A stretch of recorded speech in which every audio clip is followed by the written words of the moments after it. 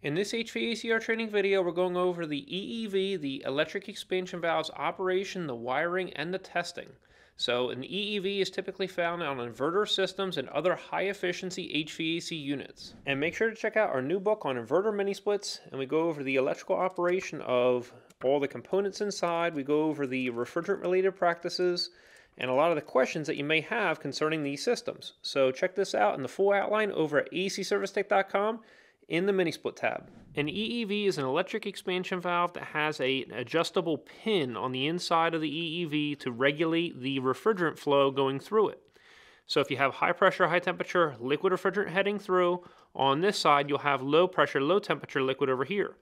And likewise, if you are in heating mode or in air conditioning mode, basically you change the direction of the refrigerant, you'll have high pressure, high temperature liquid coming here, and then you'll have low pressure, low temperature liquid coming over here. And so it's a pressure reduction device and it's electrically driven with 12 volt pulses. So 12 volt DC uh, pulses of electricity and you're going to see in the inside of here there's little teeth. And there's actually in this one there's 40 teeth total and I cut the the end cap off the top. It typically looks like this where you have a end cap that's sealed and I, I cut the end cap off so that we could see as well. You'll, you don't have access to the magnet right here. It's always in a sealed stainless steel shell.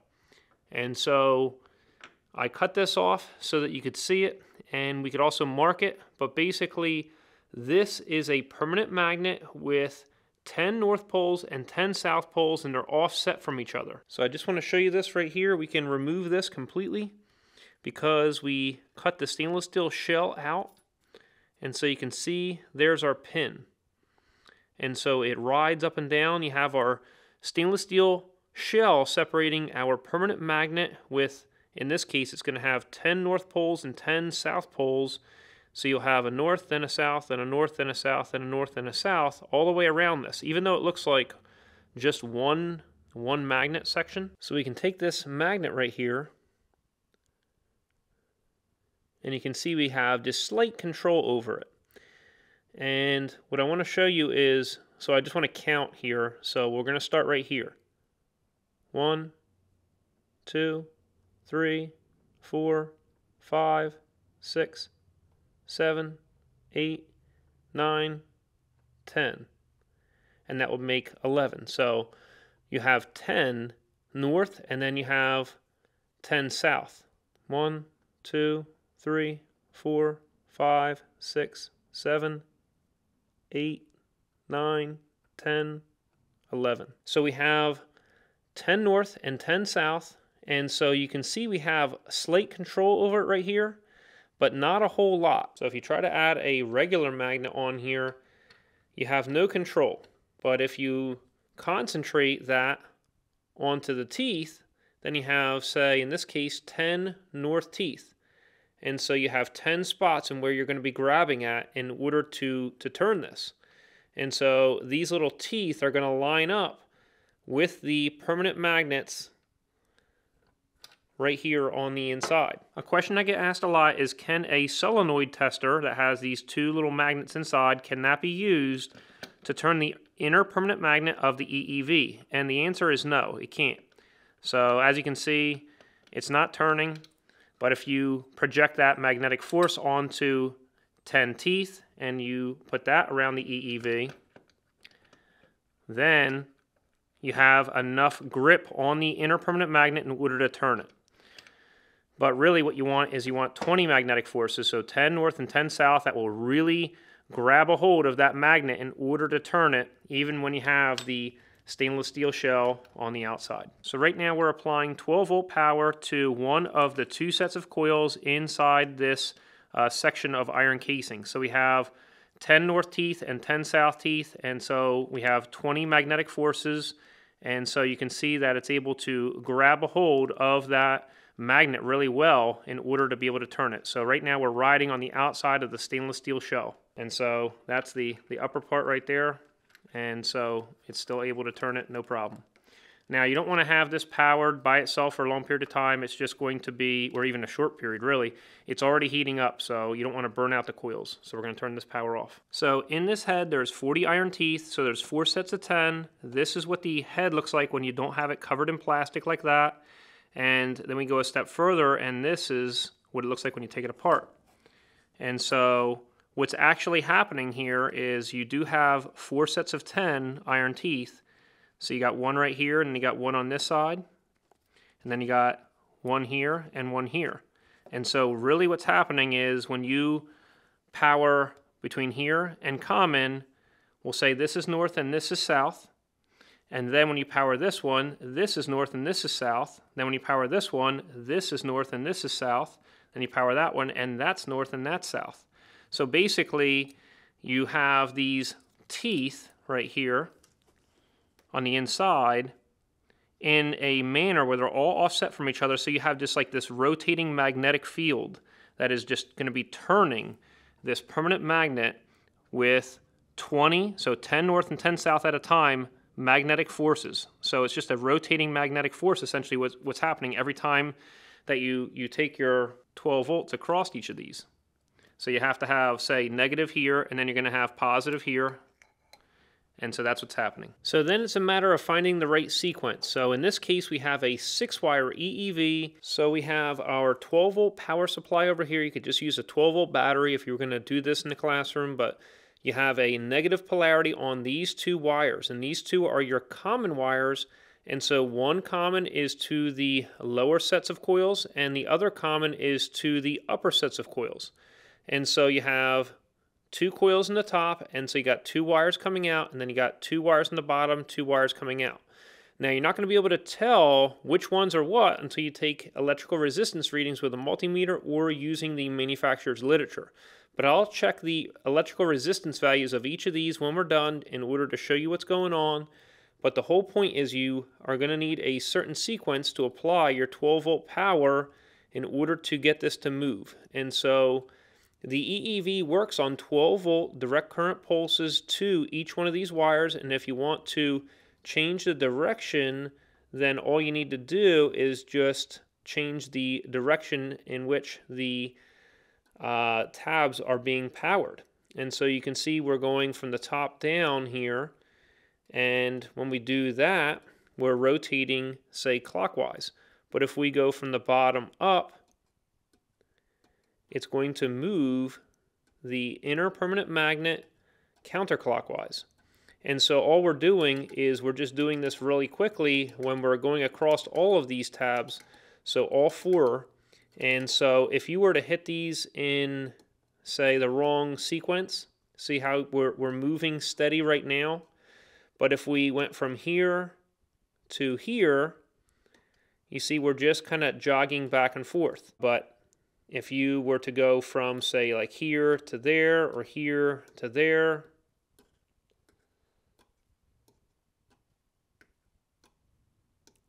you got to make sure that you have the right sequence. It's very easy how the electrical circuit board is opening the pathway down here very precisely. It's using a set number of pulses. So maybe it's 16 pulses would be one, two, three, four. So 4 times 4 is 16 pulses. It just made a refrigerant adjustment down here at the pin. That's how it works. And so anytime a mini split system starts up, you're going to hear it go click, click, click, click, click, click, click. And then after it fully closes, you're going to hear another set of clicks.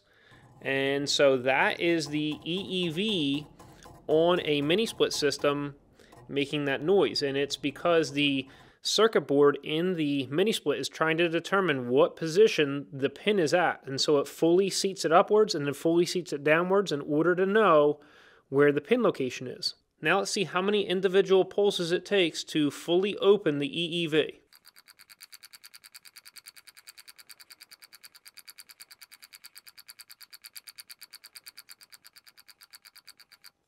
So I just did 80 times 4, so you got 160, so you got 320 pulses total in order to fully open that up. Now, sometimes I was accidentally hitting one of the wrong terminals, and so this EEV may end up supplying, say, 400 pulses, even if it only needs, say, 280 or something like that. But that's how it works. It's going to supply more pulses in it than it needs, and it's not going to do any damage. As you can see, it's not going to get stuck. It's not going to get stuck at all. And you can just go ahead and start reclosing it back down again. It's important to realize that when this head is powered in sequence with 12 volt pulses across the wires, it's going to be turning this permanent magnet, but after it does that, there's no longer power that's sent to the head. And so this pin is naturally going to just stay in this position.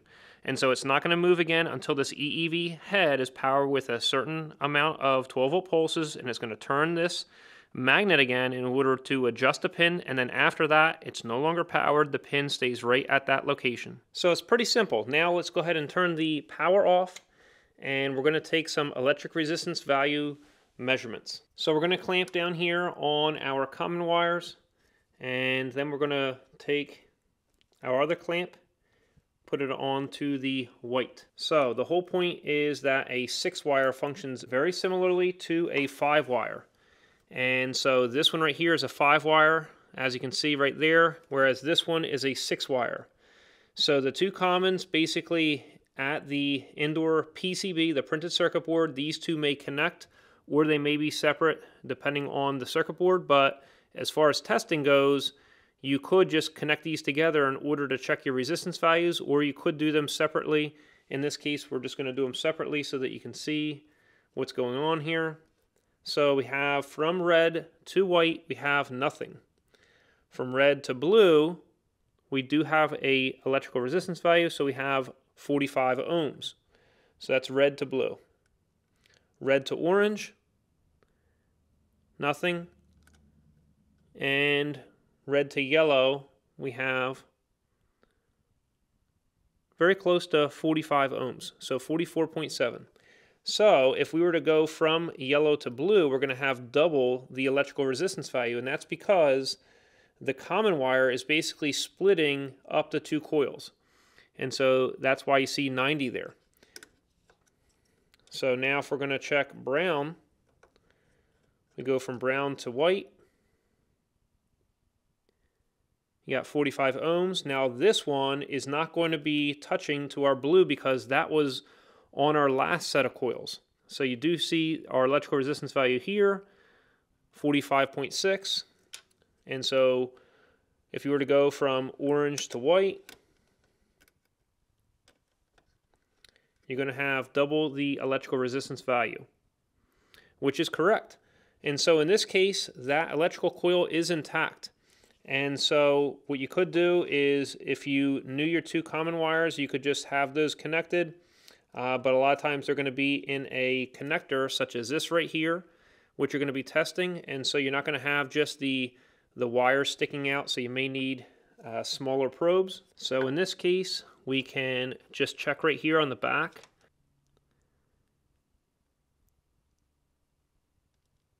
So you know that's not your common. We got to find where we are measuring a lower electrical resistance value, such as 45. So right there. So blue. So it looks like blue is our common on this one. I don't know if you can see that. So blue's right there. If we put our one probe on blue and we come right down the line, we're going to get 45 ohms or, or something close to that, say 46 on each one of these terminals. You want to make sure to not accidentally open up the, the terminals by trying to jam the probe, if it's like a large probe, into an area where it's not supposed to be at. So as you can see right here, 46.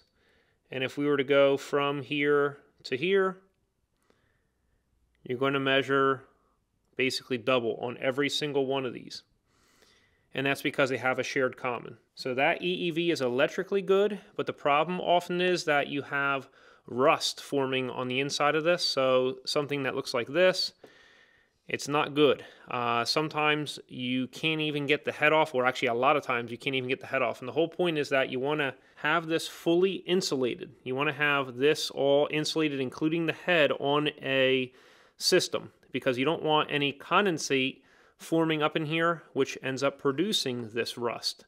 And so this you got to remember that this whole cavity, this whole cavity is going to have low pressure liquid.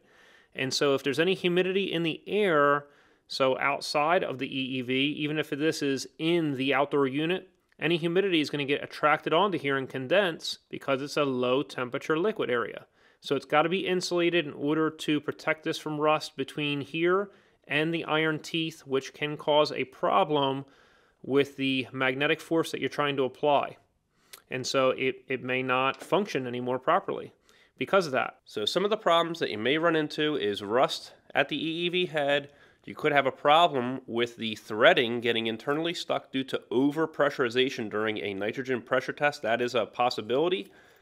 Um, but normally the body of the EEV is pretty hardy and usually doesn't have any problems. You could have a wire that has rubbed and chafed and basically broken off and now you're not able to send your 12 volt pulses from the circuit board to the EEV head. You could have a problem with the PCB itself. Maybe the PCB is malfunctioning and it's not sending the 12 volt pulses to the head. You could also have a loose connection right here maybe that has just wiggled free or it's just not making good contact.